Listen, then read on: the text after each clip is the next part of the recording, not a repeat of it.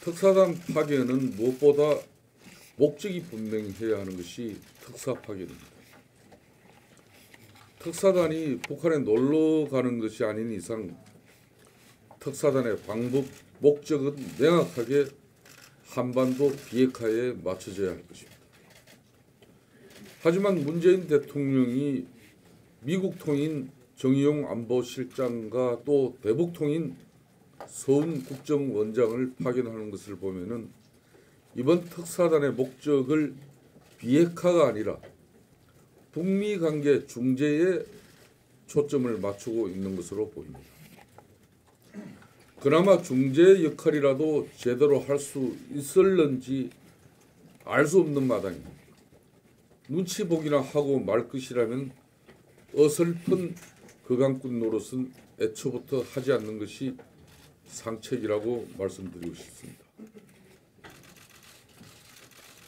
지금 상황은 싸움은 말리고 흥정은 붙이는 상황이 아니라 싸움도 말리고 흥정도 말려야 하는 상황이라는 점을 분명히 인식해 주기 바랍니다.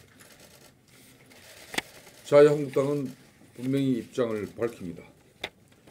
북핵은 폐기의 대상이지 흥정의 대상이 아니라는 점을 분명히 말씀드립니다.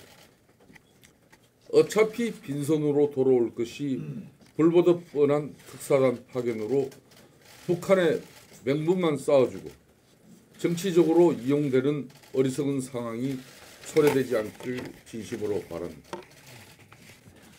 가뜩이나 김정철이 2박 3일 동안이나 워크힐에 틀어앉아 무엇을 하다 갔는지 깜깜이로 일관하는 마당에 대북 특사를 파견하면서까지 문재인 대통령도 입을 꾹 다물고 있습니다.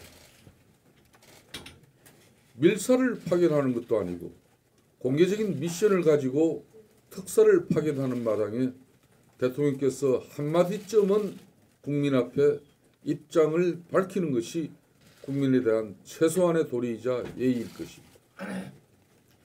김영철이 내려와서 무슨 이야기를 했냐고 물어도 꿀멍은 벙어리고 특사를 보내서 무엇을 어떻게 할 거냐고 물어도 묵묵부답인 이 정권의 국민의 목소리는 공허한 메아리일 뿐인 것입니다.